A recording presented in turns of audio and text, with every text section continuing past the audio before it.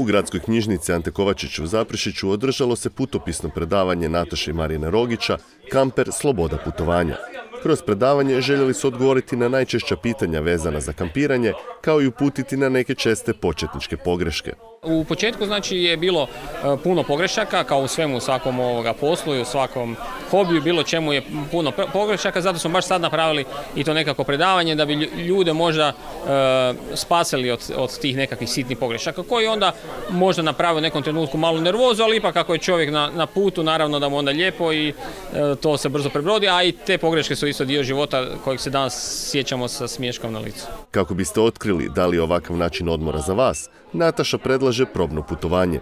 Ja bih rekla da kampiranje stvarno nije za svakoga i da svako e, ko ima želju kampirati, da je dobro da prvo iznajmi kamper, znači da nikako ne ide odmah na kupnju, već da ga i par puta iznajmi, zajedno, na primjer, ako je obitelj, da vide kako e, svi zajedno dišu, kako se slažu u tom malom prostoru, da li se to stvarno svima sviđa, da li je to ugodno za sve. Jer ako nije, nema smisla, onda je to slično možda kao i na brodu, e, ljudi se mogu i posvađati i tako i tako da imaju savjet da se prvo iznajmi i isprobate.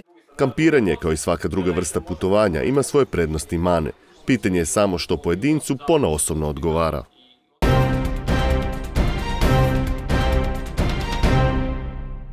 Zaprešički klubovi koji svoje utakmice igraju u dvorani športsko-rekreativnog centra zapali su u probleme jer su se radovi na obnovi neplanirano produžili. Malo su nam se produljili radovi na uređenju dvorane e, ovoga na športskom centru u, Zapršiću, no međutim svi znadete kad se nešto počne rastvarati, rasklapati ono što je 87. godine napravljeno da, pronalazite i dalje nekakve nove probleme na koje se ne računa. Najveći problem prouzročila je izolacija, to jest nedostatak iste.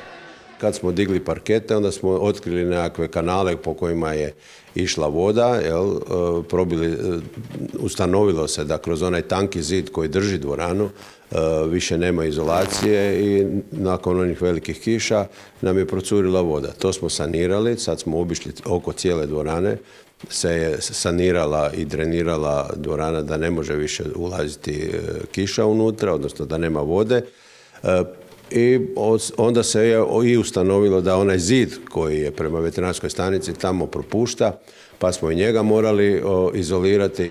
Nakon što je zamijenjena rasvjeta, Zaprešička dvorana završetkom radova, koji su predviđeni do kraja mjeseca, sada će imati i potpuno obnovljen parket te kompletnu infrastrukturu dvorane.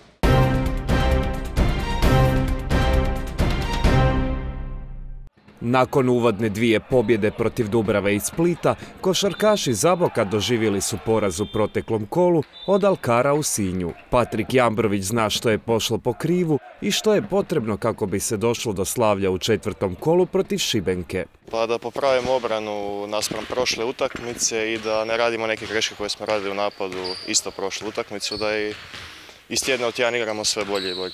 Moramo se prije svega posvetiti svojoj igri, moramo biti puno hrabri, e, sigurno da ćemo morati popraviti e, prije svega koncentraciju. Mislim da nam je to u zadnjoj utakmici najviše falilo. E, I tako, vidjet ćemo, jednostavno oni su jaka ekipa i sigurno nam neće biti lako. Pred domaćim navijačima, koji su često njihov šesti igrač, uvijek se ide na pobjedu.